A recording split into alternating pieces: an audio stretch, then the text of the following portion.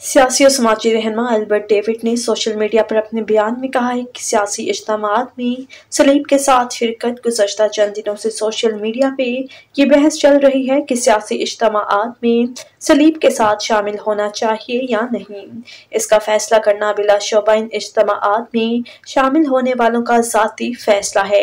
ताहम अगर मसला अगर सिर्फ़ शनाख्त करवाना ही है तो सफ़ेद झंडों के साथ शामिल हुआ जा सकता है। सफ़ेद रंग न सिर्फ़ अमन सुलह की अक्सी करता है, बल्कि पाकिस्तान के झंडे में हमारी नुमाइंदगी भी करता है। दो चार जलसों के बाद सियासी जमायतें और उनके लीडर्स समझ जाएँगे कि सफ़ेद झंडे उठाए लोग कौन हैं। सिर्फ़ एक राय है, सबका मुतफिक होना ज़रूरी है।